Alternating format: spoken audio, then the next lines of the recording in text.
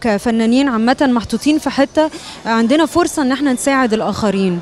فلو أنا أقدر أقول ال- الحاجة اللي حصلت لي وأفيد بيها غيري وأخليهم يتشجعوا إنهم يغيروا من نفسهم أو إنهم ما يتكسفوش إنهم يروحوا لدكتور أو الاكسبيرينس بتاعتي تفك لهم مشكلة عندهم أنا آه ممكن أعمل كده.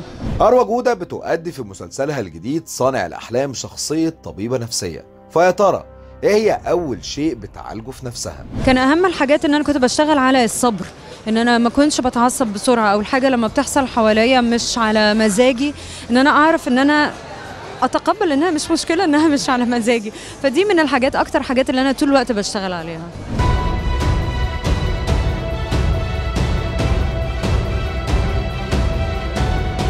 أروى مدافعة قوية عن حقوق المرأة وخصوصا بموضوع التحرش اللي حبينا نسألها عنه. أديته بظهر إيدي أديته بالقلم يعني بس كده.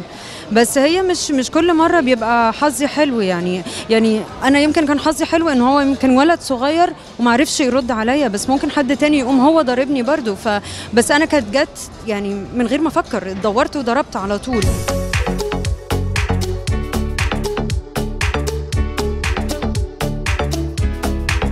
تزايد في الفترة الأخيرة الهجوم على الفنانين والفنانات فما ردها؟ ال social media سهلت يعني فتحت المجال لأي حد إن هو ينتقد ويقول آه، اللي على مزاجه وساعات ما بيبقاش في رقابة على الكلام ده. فدي دي ب- يعني بيحكم عليها الناس بره مصر يعني وبره الوطن العربي. يعني عامة أتمنى الناس بس تت... الحاجة اللي هم حابين يقولوها ايا كان إيه هي بس تتقال بطريقة هادية شوية. برغم قلة الأعمال بالدراما المصرية إلا أنها متفائلة جدا بالمستقبل. والله الدراما المصرية عدد الأعمال قل بس ده فتح أبواب المسرح وفتح أبواب السينما أكتر.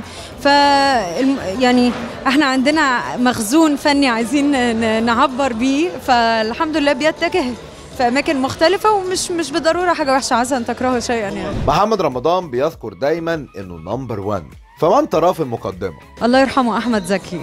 أنا بحب أحمد زكي جدا.